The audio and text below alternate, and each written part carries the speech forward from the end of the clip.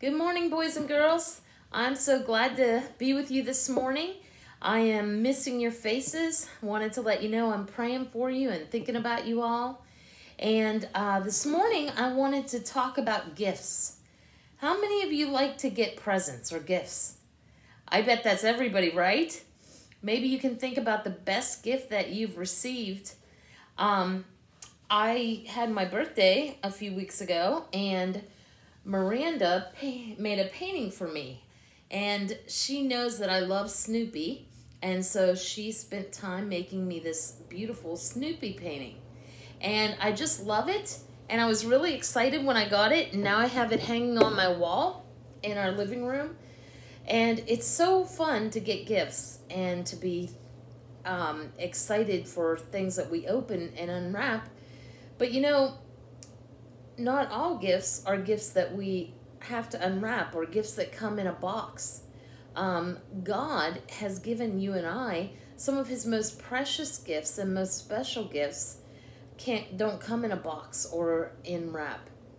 And one of those gifts I wanted to talk about this morning, since it's Mother's Day, is the gift that God gives us of our family. And you know, boys and girls, God loves you and I so very much. He is our Heavenly Father, and He gives us good gifts. And from the time we were tiny, the Bible says that when God formed us in our mom, that He was thinking of us. And God is always thinking of us.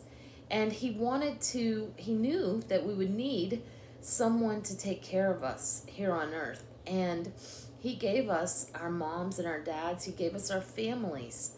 And maybe your family doesn't look the same as someone else's. Um, my family, I was raised by my grandparents, and my grandmother was like a mom to me. But whatever the family is that God has given you, um, we can be thankful because it is one of God's best gifts to you and I.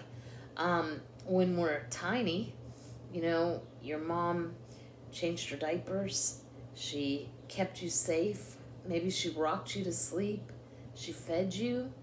And now that you're getting big and getting older, there's other things that she does for you. Maybe she helps you with your homework. Maybe she takes you shopping to buy the clothes that you need or want. She does, she reads stories to you. Maybe she tucks you in at night. But our moms are a huge gift to you and I from God. And we can be thankful for the gift of our moms. But did you know in Exodus chapter 20, God also gives us a command about this gift that He's given us of our parents. Listen to what He says. He says, Honor your father and your mother. So God's word tells us that we're supposed to honor our mother and our father. Um, and ways that we can do that can you think of some ways that we might honor our mother and our father? How could we do that? Maybe by speaking kindly to them. It's tempting sometimes when they say something we don't like to come back with attitude or to say unkind words to them. But when we show honor, we speak kindly to them and we speak with respect. Another way is to listen to the things they ask us to do, to obey. Maybe they ask you to wash the dishes or help to um, make your bed or some other task like putting away toys. And when we obey and we do that with a good attitude, we're showing honor to our moms and our dads.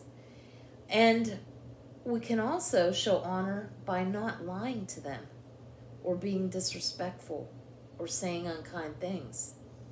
Maybe you can think of some other ways that you can honor your mom, especially this Mother's Day, um, and ways to honor your father.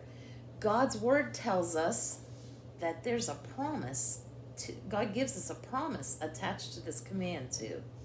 You know that throughout history, there are people who have looked for um, different ways to stay young or to live longer. And way back, they there were people who used to look for a fountain called the Fountain of Youth. And this was a fountain that somebody said existed. And so people would look all over for this fountain of youth because they thought if they found it and went into it and got the water, that it would make them young again and that it would prolong their life and cause them to live longer. But God doesn't tell us about anything like that. And today, people try different medicines and serums and all kinds of things um, that usually we see on TV to make themselves live longer.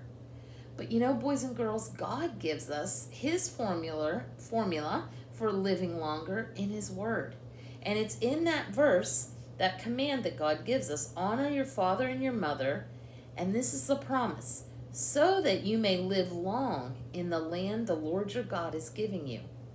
Boys and girls, God says the way for you and I to have a long, a good and long life is to honor our parents, honor our father and our mother. And God's promise is when we do that, we'll live longer, we'll live a long life.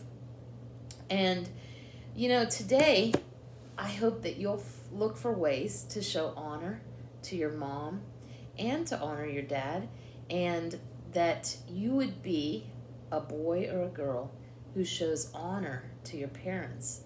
And then God says his promise to you is that you will live a long life that he has for you. Uh, so thank God. Let's thank him together, actually, right now, for the great gift he's given us of our parents. Dear Lord, thank you so much that you love us, that you're always thinking about us, and that you give us good gifts. And Lord, I thank you for the gift of our parents, our grandparents, those who take care of us. And I ask, Lord, that you would help us to honor them, not just so that we might have a long life, but Lord, because it is good and it is right, and we are thankful for them. We love you, Lord, in Jesus' name. Amen.